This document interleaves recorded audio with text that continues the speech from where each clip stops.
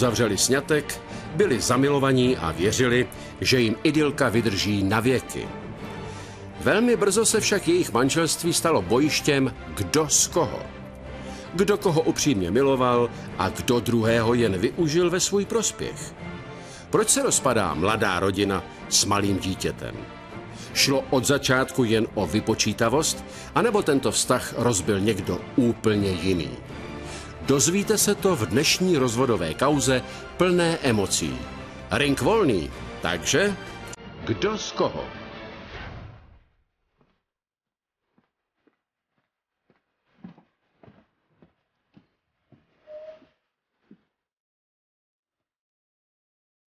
Dobrý den. Prosím, posaďte se.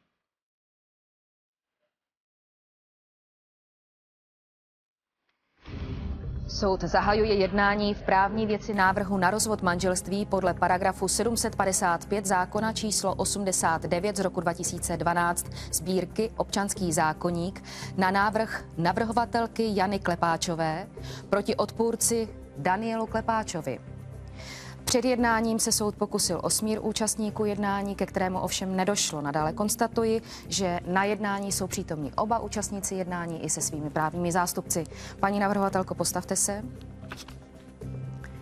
Trváte na svém návrhu tak, jak byl písemně doručen soudu, nebo ho chcete nějak doplnit? Ano, trvám na něm.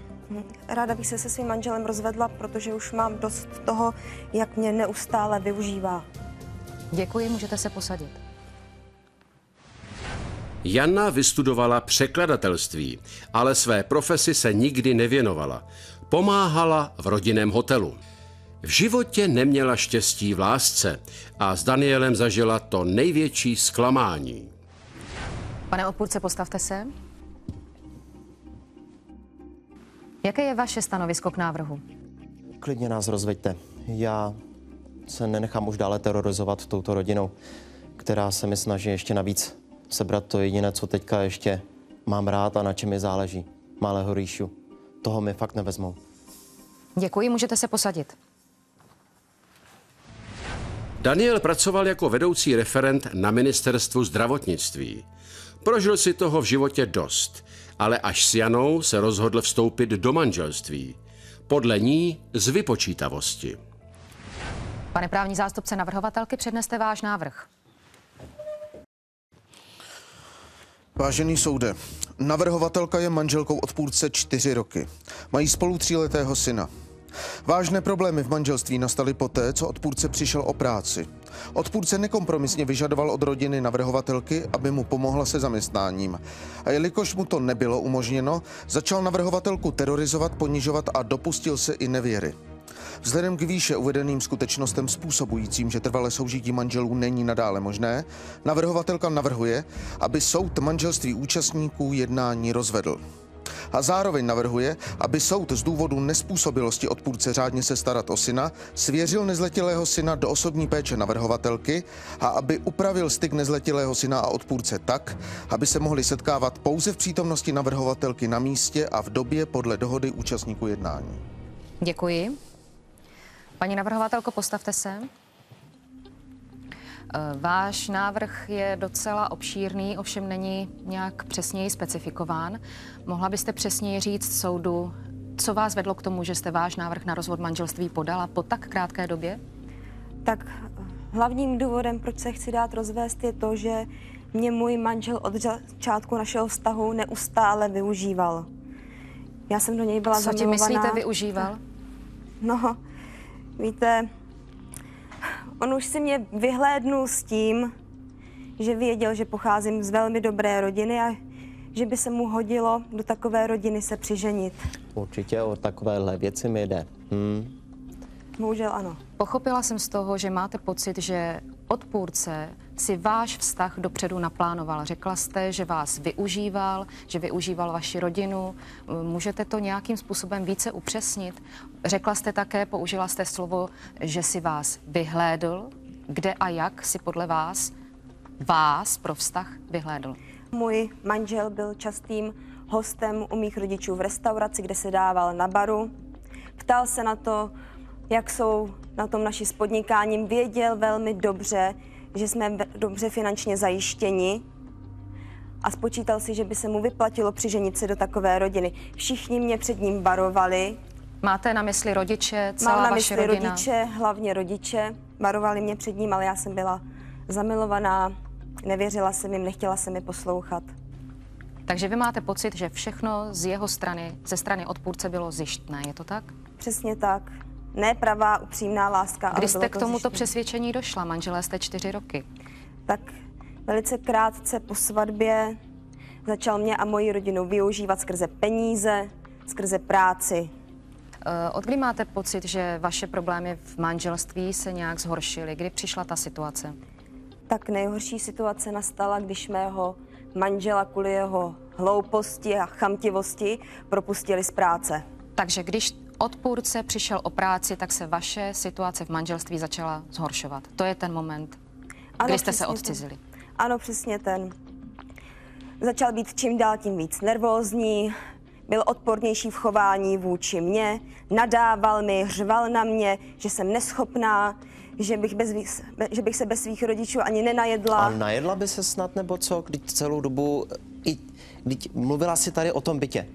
Ano. Jo, myslíš si, že bychom to nedokázali zvládnout sami?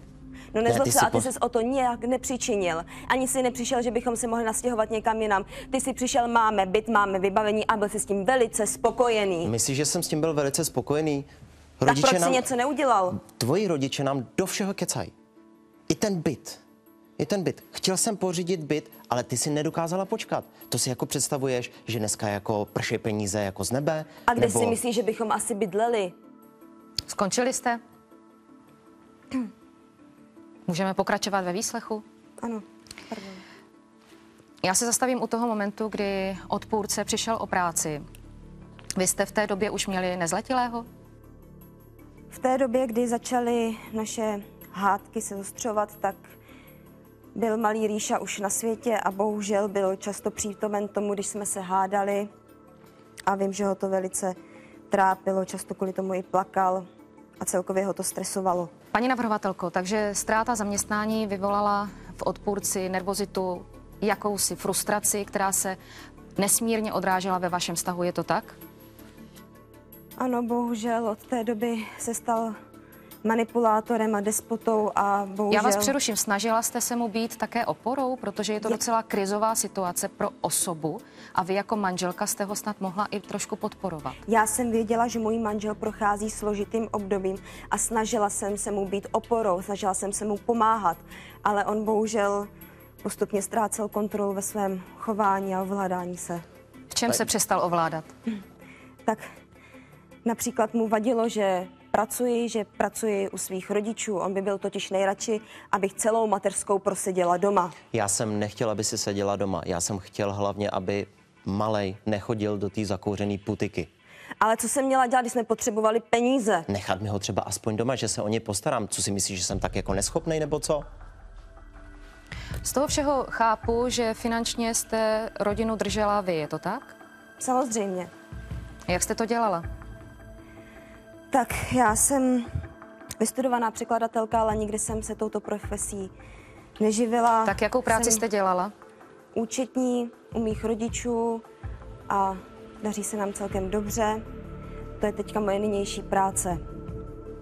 Eh, Během vašeho soužití v této krizové situaci měla jste pocit, že vás odpůrce nějakým způsobem omezuje právě v té práci ve vykonávání účetní u vašich rodičů?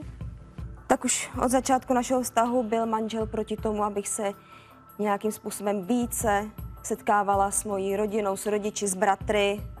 A postupně to potom přišlo na kamarády, nechtěl, abych chodila s přáteli ven. On prostě chtěl, abych byla doma a zároveň vydělávala, ale uznejte, že to není možné. Počkej, ty jako myslíš, že to, že rodiče jsou neustále nakufrovaní v našem bytě, nebo respektive, jak teda správně tady říkáš, bytě, který nám dali tvoji rodiče, tak ty si jako myslíš, že to, že nechci, aby byli každý den pět hodin v kuse nasáčkovaným v našem bytě, že ti zakazuju komunikovat s rodinou, Teď to prostě není normální. Já Vždyť jsem ráda, že k nám naši chodí, protože mám života. aspoň nějakou podporu, Neustále nám do toho kterou života od tebe kecají. nemám. Ty seš neustále v hospodě.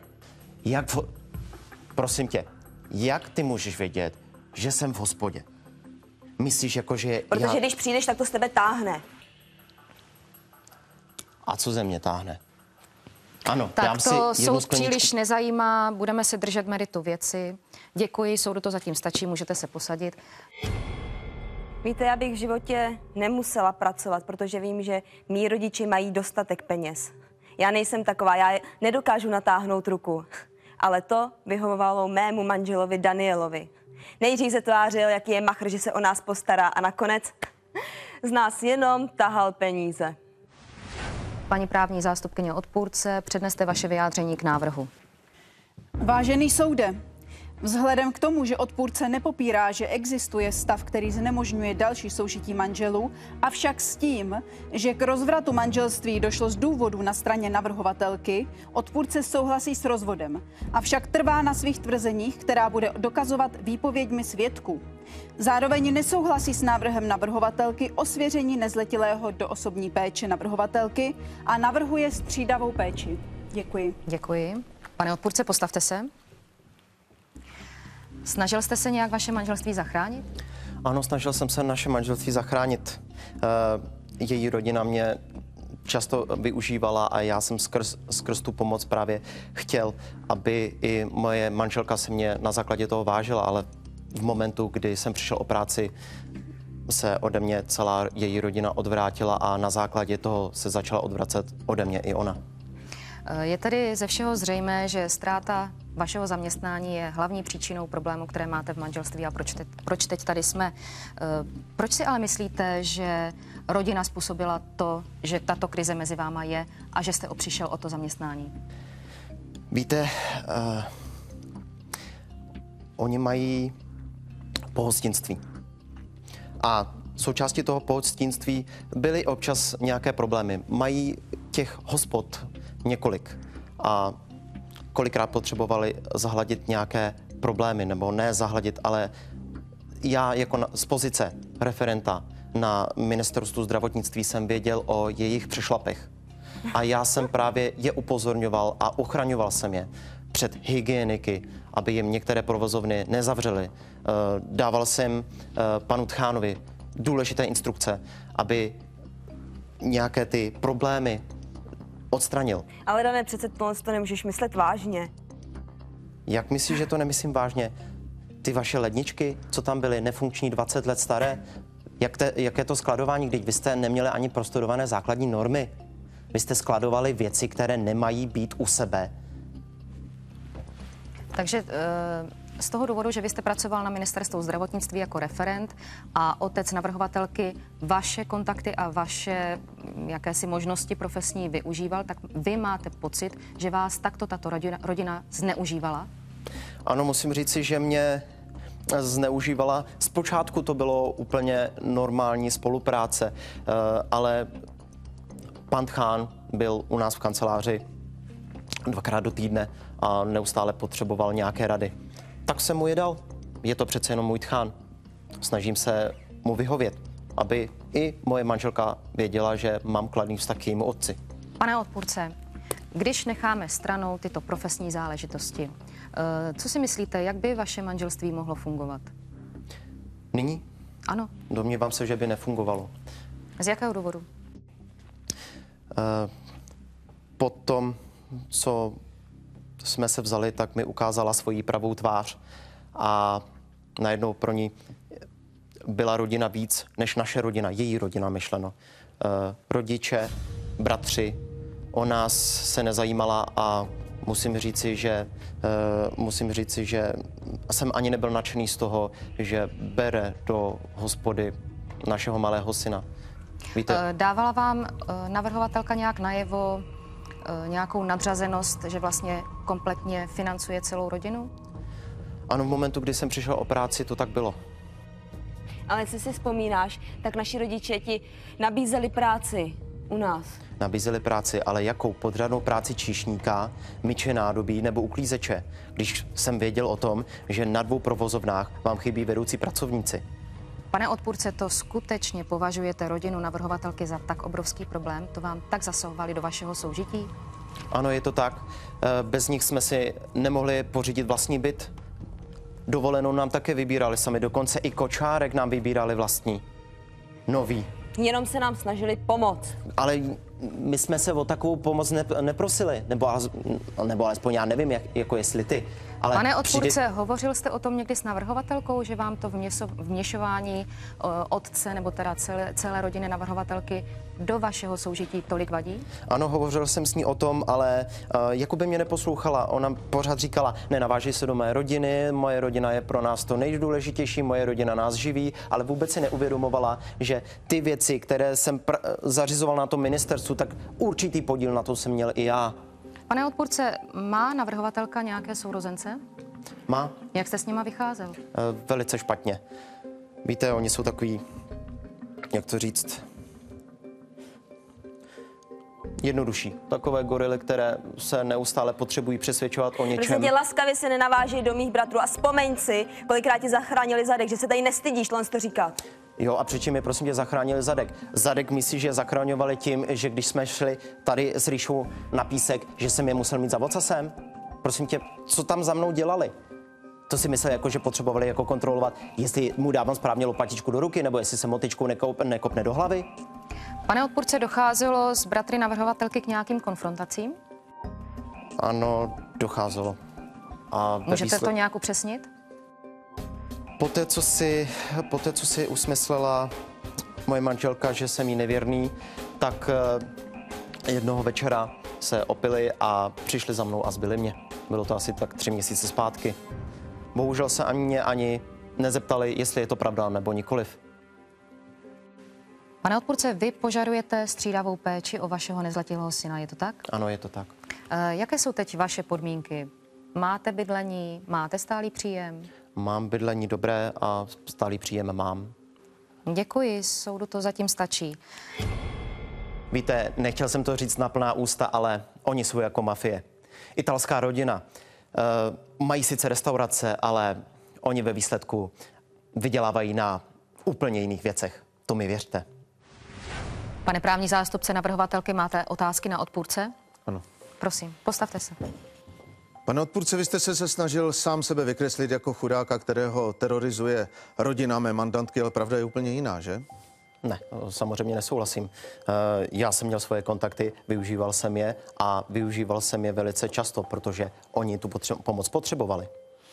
Vy jste přišel o práci a z tohoto důvodu jste byl velmi frustrován a dokonce se vyvíjel zlost na mé mandance. Vy jste jí po ní křičel, vy jste ji terorizoval v podstatě doma a vůbec vás nezastavili ani slzy vašeho syna. Já si nejsem vědom, že bych nějakým způsobem terorizoval svou manželku. Ano, měli jsme, měli jsme hádky, to je snad v každém manželství, ale rozhodně jsem ji neterorizoval. Vy si ani neuvědomujete, že jste neustále využíval vlastně rodinu mé mandantky? Já jsem se o žádné, vy... jaké využívání? Vy jste užíval byt, který koupila eh, vlastně rodina mé mandantky a koupili toho také daleko víc i vybavení. To vám asi vyhovovalo, že? No samozřejmě, že nám to nevyhovovalo. Myslíte, že, myslíte, že jsem chtěl nějaký starožitný nábytek, který tamhle koupili někde? Mně se líbily teďka ty nové v IKEA. Ale místo toho, aby jsme si my s manželkou o tom mohli promluvit, tak všechno nám zařizovali za zády naši rodiče. Všechno vám zařizovali za zády dokonce i dovolenou? To vám také vadilo, že vás poslali dokonce na Seychely? Ano, to je vadilo mi dobrá to. Do, dovolená a vám to vadilo? Ano, vadilo Ale mi přesto to. jste na tu dovolenou jel? Víte, já dovolenou nepotřebuju. Vy jste neustále přijímal různé výhody plynoucí z finanční zajištění rodiny mé mandantky. A přesto jste je označoval jako vidláky, jako zbohatlíky, jako brněnské mafiány. Nepřipadá vám to trošku divné, takhle pomlouvat lidi, kteří vám pomáhají? Víte, já jsem se o jejich uh, pomoc vůbec nežádal. Uh-huh. To je jedna věc. A s těmi mafiány, co říkáte, tak s tím musím naprosto souhlasit. Jejich praktiky kolikrát opravdu mafiánské bývaly. Aha. Uh, my jsme tady mluvili o tom, že jste se dostal do nějakého fyzického kontaktu s jejími bratry. Ano. Můžete jako chlap tady přiznat před soudem, uh, z jakého důvodu to bylo? No tak to by mě teda docela dobře zajímalo. A já ti to ale řeknu, z no, jakého povídej. důvodu to bylo. Protože v tu dobu si mi byl nevěrný. A to si vzala, prosím tě, kde? Ano, je... bratři, bratři mé mandantky si vás podali proto, že jste byl uh, vlastně jejich sestře eh, nevěrný a to opakovaně. A to- Pane odpůrce, eh, vy jste se snažil zachraňovat manželství tím, že jste společně s mou mandantkou chodili na takové párty uvolněného typu, kde docházelo často i ke skupinovému sexu. Myslíte si, že to je vhodná terapie pro manželství, které má problémy? Víte, naše manželství nebo respektive intimní život po tom, co se narodil náš syn, eh, kdy já jsem eh, posloužil své manželce jako sploditel, tak se mě přestala po sexuální stránce všímat. Ona byla, když to tak řeknu, frigidní. A tak jsme se snažili najít nějaké další cesty. Takže ty chceš tady tvrdit, že já jsem tě nutila chodit na ty párty? A kde jsi byl? Na dvě, na tři hodiny, když se to tam rozjelo, všichni pili ve velkým a ty jsi se najednou ztratil. kde jsi byl celý hele, večer? Radši toho nech. My všichni moc dobře tady víme, jak si potom byla takhle udržaná ze řetězu. Vždycky se tam opila a pak víš, jak to dopadlo. Vy jste, pane odpůrce, dokonce na těchto nechvalně známých párty eh, potkal svou milenku a začal jste eh, vlastně častěji a pravidelněji podvádět mou mandantku. Pardon, já žádnou milenku nemám. Vy nemáte ta, žádnou... To je blondětá silikonová nádhera, To to, je si nepamatuješ? Pořád jsi s poradkyně. ní, ano? Eh, Počkejte, máte na mysli uh, stečnu Lindu Gregorovou, s kterou jste viděn eh, v nocích po barech, často ji doprovázíte až domů. No ano, To je samozřejmě vaše nenechám. finanční poradkyně? Ano, je to má finanční poradkyně, kterou nenechám jít v noci jako slušný člověk samotnou po Takže ulici. popíráte, že je to vaše milenka? Ano, popírám. Je zajímavé, že když jste ještě intimně žil s mou mandantkou, tak začala mít eh, různé gynekologické problémy. Žádala vás, abyste šel s ní k doktorovi. Proč jste to neučinil? Víte, eh, já jsem měl své práce dost, eh, nevím, jestli víte, jak vypadá práce na ministerstvu, ale rozhodně si tam člověk nemůže jen tak uprostřed pracovní doby jít si sednout do ordinace. Navíc věděl jsem, že jsem zdravý, tak jsem nevěděl důvod, abych tam šel. Prosím tě, co mi to tady vykládáš? Já jsem ti přinesla lékařské potvrzení. Ty jsi se odmítal léčit, chodil jsi s bůh ví jakýma ženskýma a potom si mě nakazil. A teď se divíš, že ti nechci dát do péče z našeho syna? Jo, ty myslíš tu lékařskou zprávu, co jsem roztrhal? Teď prosím tě, vím, na ministerstvu vím, jak tohle s těma zprávama funguje. Dneska se stačí jenom mile podívat na pana doktora a rovnou ti napíše, že máš třeba chřipku na 14 dní. A jaký jiný důkaz jsem měla přinést, než lékařskou zprávu? No třeba asi od jiného doktora. My moc dobře tady víme, jako jak má ošefovaný tvůj tatínek všechny doktory tady. Pane odpůrce, vy jste k žádnému doktorovi nechtěl jít, ale zanechme, dejme teď bokem eh, onu nevěru. Myslíte si, že byste se dokázal postarat eh, o svého syna v případě, že soud přijme váš návrh na střídavou péči? Ano, troufám si říct, že ano, dokázal. Já si myslím, že vy nedokážete vytvořit v podstatě prostředí pro nezletilého syna. Kde teď žijete momentálně? Mám slušně pronajatý byt a rovněž mám i práci. Myslíte tím slušně pronajatým bytem garzonku, kterou obýváte společně s jakousi striptérkou? Uh, To si myslíte, že je vhodné prostředí pro vašeho nezletilého syna? Abych, abych to upřesnil, Vlaďka je moje kamarádka a není striptérka, je to tanečnice. To je Dobře. jedna věc. A druhá věc je, ano, to prostředí tam je.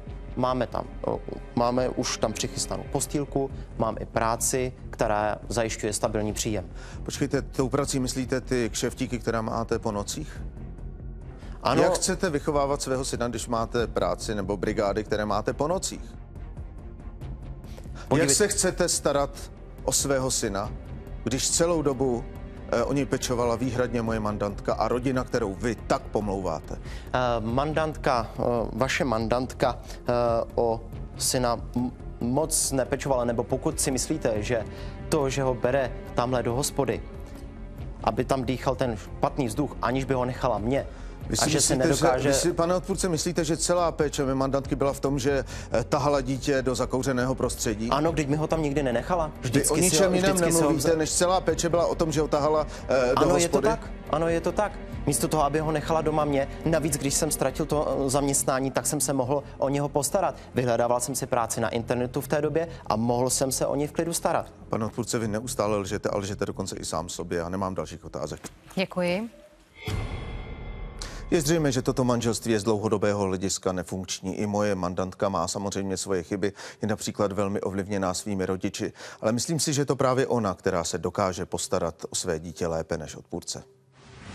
Paní právní zástupkyně odpůrce, máte otázky na navrhovatelku? Ano, mám, děkuji. Prosím. Mohu vás poprosit? Paní navrhovatelko, jak se vaše rodina stavila od začátku k vašemu vztahu s mým mandantem? Eh, Moji rodiče ani zbytek rodiny nesouhlasili se vztahem mě a tady Dana. Měli od začátku proti, ale když viděli, že ho doopravdy miluji a že si ho chci vzít, rozhodli se to akceptovat. A co jim na něm vadilo, když ho neznali? Ale jak já už jsem vám tady řekla, že oni ho znali, že byl častým hostem u nás v restauraci na baru a věděli, že jde po penězích a po ženských. Počkejte, jak na ženské. Vy jste po celou dobu trvání vašeho manželství neměla jediný důvod, je sebe menší důvod si myslet, že by vám váš manžel byl nevěrný. A ja- jak to můžete vy vědět, že já jsem neměla sebe menší pochybnosti? Já jsem naopak věděla, že mi je můj manžel nevěrný. A kde si vzala důkazy, prosím tě? Teď já jsem tě s tou tvojí silikonovou blondětou nádherou viděla, jak se tam objímáte. Ano, objali jsme se. Teď ve Francii je to zcela běžné, že si lidé dají polibek na tvář, když odchází. Ano, několikrát za sebou.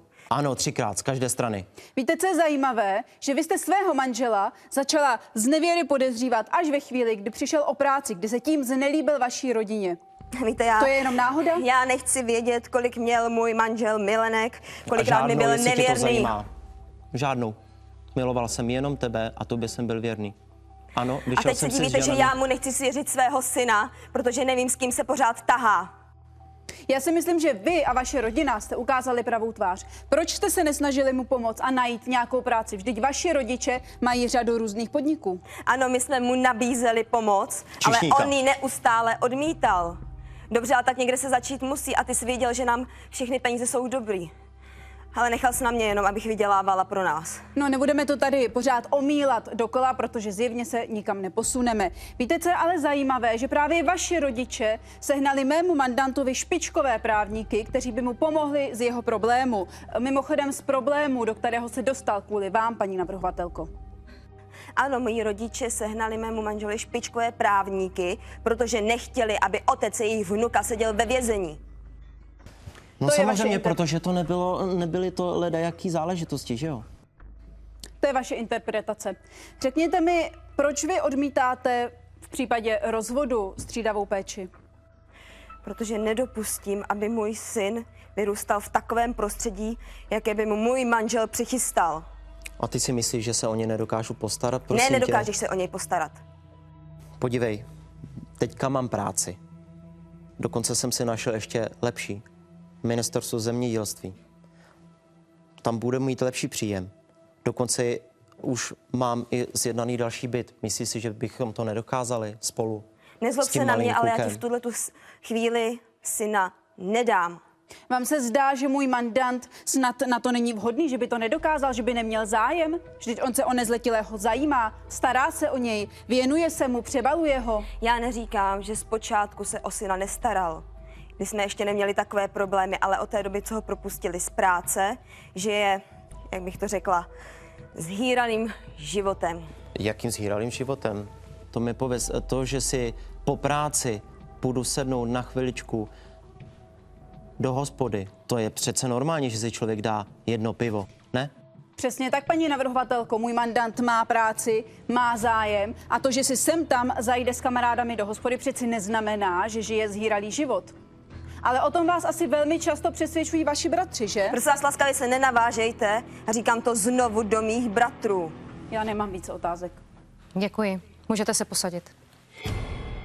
Tady skutečně nejde o to, kdo koho chce využít kvůli práci. Tady jde o nezletilého chlapce.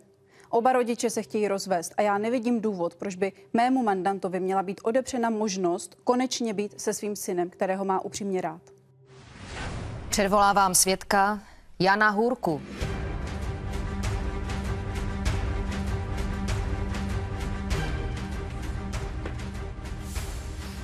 Dobrý den. Dobrý den, pane svědku. V jakém vztahu jste s účastníky jednání? Janička je moje dcera jediná a tenhle ten chrapůn, to je Cože, prosím? můj zeťák. Pane svědku, co víte o situaci mezi vaší dcerou a vaším zetěm? No, já jakmile jsem se dozvěděl prvně, že moje dcera si začala s tímhle s tím chasníkem, tak, jsem, eh, tak se mi přitížilo. A od té doby eh, je to horší a horší. Doufám, že to dneska vyřešíme a že to skončí konečně. Vidíš tedy- to, jak mu pohrdá pořád? Vy tedy souhlasíte s rozvodem, ano? No naprosto ano, to je jediný řešení. No. Pane právní zástupce navrhovatelky, navrhl jste předvolání svědka, můžete začít s výslechem. Děkuji. Pane Svědku, odpůrce uvedl, že jste ho využívali a zneužívali jeho postavení na ministerstvu zdravotnictví. Eh, Jak to vidíte ze svého pohledu? No, eh, když eh, dcera řekla, že si ho veme dokonce, tak jsem byl otřesený a postupně jsem se s tím směřoval a říkal jsem si, teď on tak špatný nemůže být, když ho trpí na tom ministerstvu. Takže jsem si eh, se snažil tu situaci tak nějak jako vstřebat a řešit. A od té doby, co se vzali, tak jsem se snažil všemožně eh, jim Zasahovat pomáhat, života, ano. pomáhat a eh, snažil jsem se zkrátka smířit se s tou situací. Jako jo. Pane Svědku, ještě jednou, konkrétně. Využíval jste nějak známosti pana odpůrce na ministerstvu? Potřeboval jste jeho známosti ke svému podnikání? Depák, depák. Takže vám nehrozily jsme- žádné postihy ze stran hygieny, kterou Depák. zametl pod koberec eh, podle svého mění pan odpůrce? Ne, pak my jsme léta, léta už podnikám a e, žádný problémy jsem nikdy neměl a akorát, když e, se moje dcera provdala, tak e, zeťák se snažil e, mě vlísat nějak, jako snažil se nabídnout nějaký, nějaký věci, vymýšlel si, jako co by nám mohl, jako všecko. A když vám přišla ta hygiena, to jako bylo v pořádku? Ale teď léta to bylo v pořádku. Leta to bylo v pořádku, dokud, vám tam, eh, dokud se vám tam nepoškodily ty chladničky a dokud se nezměnily normy, že během toho, co se vaří nějaké jídlo, tak nesmí procházet vařené maso stejnou cestou, jako když se- vám přiváží syrové maso. Tohle to tohle- byste vůbec neměli odpůrce, já ošefované. si myslím, že člověk, který podniká eh, v tomto No, podnikání, to to- asi ví, takže nemusíte Ne, teď to, to všecko, všecko jsme znali, no. No, dobře. Za ty léta, jako opravdu. A když eh, jsme náhodou nevěděli, tak jsme věděli, koho se zeptat a poradit se s někým, no. A Dobře, to bylo takže jenom, jste věděl jenom o tom tím, právníkovi, který tam byl připravený na vás si- podat žalobu. že si se snažil vlísat do naší rodiny, no. Zavděčit se, jako jo. Ty jsi to těžce nes, že tě, že tě nesnáším, jo. Že, že jsme proti tobě zaujatý, jako jo. že No tě, a ber- že pomohli jste mi snad během toho, co jsem přišel o práci? Navi- nakonec jsem o tu práci přišel kvůli vám? To je blbost. Jo. Když normálně všeobecně se uh, tradovalo po ministerstvu, i do televize se to dostalo, jo? že uh, se tam dělali pěkné neplechy a že vy jste byl jedním z nich. Pane Svědku, prosím, odpovězte eh, na otázku mě. Eh, Vy jste byl od začátku proti tomuto vztahu dvou účastníků jednání. No, samozřejmě, jako jo, těžce jsem ho nést, tenhle ten vztah. Vy jste znal odpůrce už předtím? Jistě, on chodil do, do naší restaurace eh, na bar a dlouho do noci tam vysedával a eh, po, každý týden se bavil s jinou eh, ženou a odcházel. Jo? Takže jsme věděli, jako, že se zajímá, kde jaký peníze získat a kde jakou ženskou jako Tak si myslíte si, že vstoupil eh, do manželského svazku ze zjištných důvodů? No určitě, on si, on si jasně uvědomil, Ale vždyť jsem to vůbec eh, Že, nepotřeboval. na, že naše rodina je poměrně zámožná a že eh, mu vyřeší finanční situaci, jako jo. A jako jsem Jak měl se, chovala, finanční... prosím, jak se chovala uh, ze začátku toho vztahu vaše dcera v tom svazku? No, no Janička, Janička neměla dobré zkušenosti s mužskýma a když poznala tadyhle eh, eh, odpůrce, tak eh, a on to eh, se svýma zkušenostma na ní rozbalil, tak jí to eh, zalichotilo a velmi, velmi eh, eh, tou, tou dobou, kdy se poznali, byla šťastná a vůb, měla růžové brejle nasazený a vůbec nechápala, nechápala, eh, kdo vlastně ten dotyčný je. Přeci jenom snažil jste se akceptovat tento vztah, snažil jste se eh, změnit názor na pana odpůrce. No akorát jsem jí upozorňoval, aby si dobře rozmyslela, s kým si začíná, jo, aby eh, opravdu jako to všecko eh, nebrala na lehkou váhu, že to není jen tak eh, s někým jít do svazku, že ta prvotní zamilovanost jako přestane a nastane, nastane jednotlivý vztah, Eh, kdy si člověk váží toho druhého a kdy eh, s ním opravdu sdílí dobrý i zlý. No. Hmm. Ale přesto jste pomáhal této, no a této rodině. Vy jste koupil i byt, bylo jste eh, řečeno, i vybavení. Po, po všech, jaký jsem měl možnosti, jaký jsme měli možnosti finanční, tak to jsme všecko jako jí poskytli. No. Pan odpůrce tvrdí, že jste, že, jste, že jste pohrdal uh, právě osobou pana odpůrce. Je to tak? Ne, dával jste mu najevo, že dal jste mu, dával jste mu nějakou šanci? Jo, jistě, samozřejmě, jako jo, že určitě, určitě jsem ho uh, bral uh, jako, uh, jako právoplatního manžela svý uh-huh. dcery, jako jo, opravdu. Jak uh, podle vás fungovala domácnost uh, účastníků jednání? Jak se starali o dítě? No moje, moje dcera uh, se vyloženě starala o to dítě, uh, protože Eh, tadyhle odpůrce eh, byl buď v zaměstnání a když přišel domů, tak se akorát najet, převlík, vykoupal a šel za kamarádama do hospody. Pardon, musím říct, že jsem se vykoupal se svým synem, nebo respektive syna jsem vykoupal, vyčistil jsem mu zuby, přečetl jsem mu pohádku. To vám přijde jako, že se člověk jako nepostará? A no. jsme u toho, myslíte si, že pan odpůrce je schopen se postarat eh, o nezletilého, když navrhuje soudu střídavou péči? Já myslím, že krátkodobě, tak jeden, dva dny, jako jo. A to si děláte už, legraci, ne? Pak už musí vyrazit do hospody a e, za děvčatama. Proč si na... potom myslíte, že pan odpůrce chce střídavou péči? No to je jednoduchý, no. Nechce platit alimenty. Tak děkuji, to je prozatím ode mě všechno. Děkuji. Děkuji. Paní právní zástupkyně odpůrce, máte otázky na svědka? Ano. Prosím. Uvědomujete si, že jste nepřiměřeně zasahovali do soužití vaší dcery a zedě? Že jste jim vnucovali váš názor, váš vkus? Ne, Uvědomujete to, si to? To ne. To nemůže ani říct odpůrce.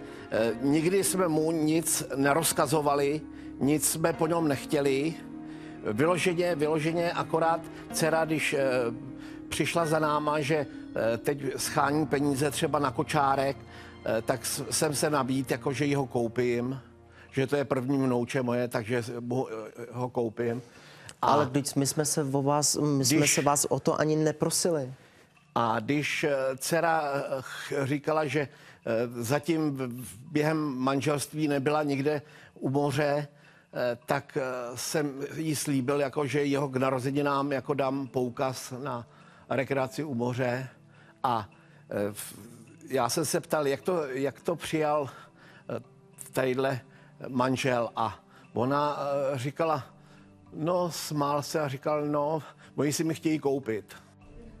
No ano, ví to tak bylo. Chtěli jste si mě koupit za to, co jsem pro vás na tom ministerstvu dělal. To bylo naprosto normální. Vy se divíte tomu, že mu jako bývalému referentovi, vedoucímu referentovi vadí práce čišníka? Práce umyvače nádobí? Vy se tomu divíte? Tak si měl sehnat jinou práci. Ale on by si ji i našel, kdyby vy jste proti němu nevyvolal štvanou kampaň a nezačal ho pomlouvat. A dokonce to došlo tak daleko, že se všichni proti němu otočili zády a nikdo ho nechtěl zaměstnat. Ale to, to není možné, to je jeho sugestce, to si namlouvá. Víte, co je zajímavé? Že se dokonce informace o jeho propuštění z ministerstva objevila ve zprávách jedné soukromé televize. A co je na tom ještě zajímavější, že ředitel té televize je váš nejlepší kamarád. To je pouhá náhoda? Nezlobte se na mě, ale takhle obvinovat mého otce, to snad nemyslíte vážně. Paní je jasné, že když někdo udělá jsem se takové... pana svědka, ne vás. Odpovězte. No, je to, je to, je to větší, byla to velikánská kampaň, která se rozpoutala na ministerstvu a součástí toho byl tadyhle eh, odpůrce a eh, Samozřejmě, že se nic nedokázalo. Nikdo nikoho neviděl jako dávat nějaký peníze někomu. Protože ale nic takového prostě důvěry, nebylo. Pro ztrátu důvěry byl eh, Aha, aha. A víte, co je na tom také zajímavého? Že ta televize se o tuto informaci začala zajímat až ve chvíli, kdy paní navrhovatelka podala návrh o rozvod, jenomže to je rok po jeho propuštění. Vy v tom máte prsty? Ne, to, to, určitě ne. Já jsem, já jsem eh, o, to, o tomhle s tímhle s tím svým přítelem vůbec nemluvil. A uh, oni mají eh, svoje zdroje, svoje uh, známí, který jako jim dodávají takovéhle informace a když zrovna bylo v kurzu uh, nějaký úplatkářství, tak vyhrabali tuhle tu aféru a dali to na tu televizi. Vy mého mandanta prostě od samého začátku nemáte rád. Vy byste si pro svou dceru představoval někoho lepšího. Vy jste ho jenom zneužili, jak se dalo, a když jste zjistil, že už to více nejde, tak jste ho zničil, očernil a teď se ho ještě snažíte připravit o syna. No já jsem naprosto přesvědčený o tom, že jeho charakterové vlastnosti jsou opravdu velmi špatní. Já vám děkuji za váš názor a nemám více otázek. Děkuji. Děkuji, pane svědku, můžete se posadit. Předvolávám svědkyni Lucii Klepáčovou.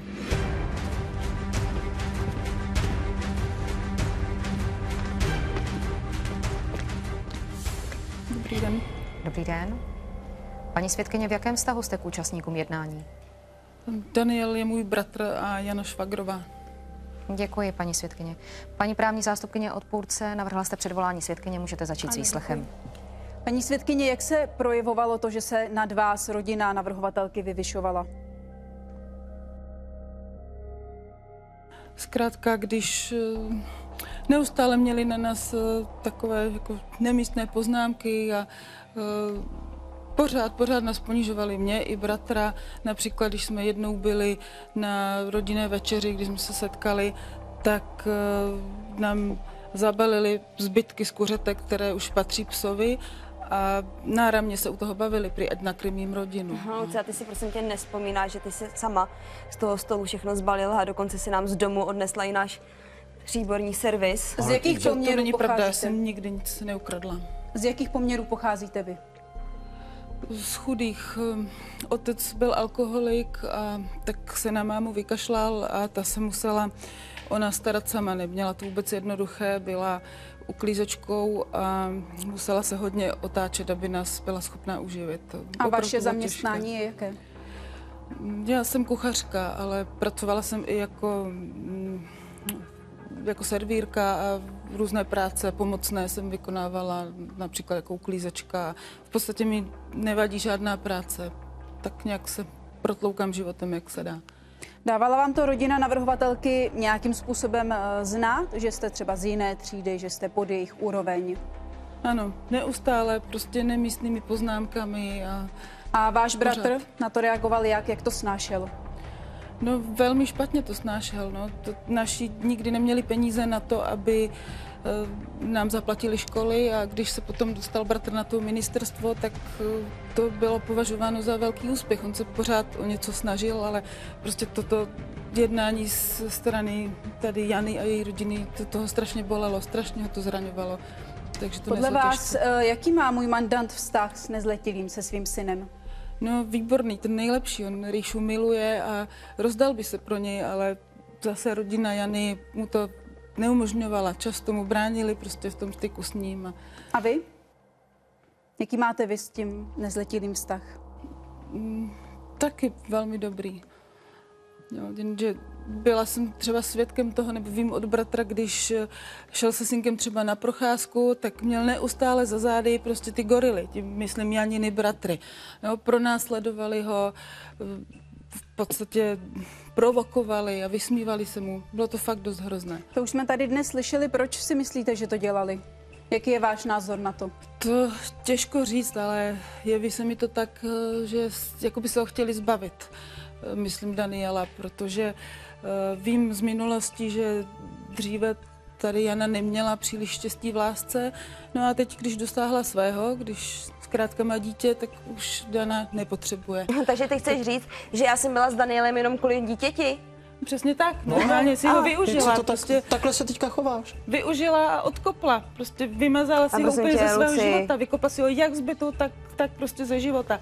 Jo, No, a to jsou přesně ty maníry sám, no. prostě vás zazobaných. Jako to je, si nevážíte že to není ničeho, jenom pravda. peněz. Paní svědkyně, já vám děkuji. Děkuji vám a nemám více otázek. Děkuji.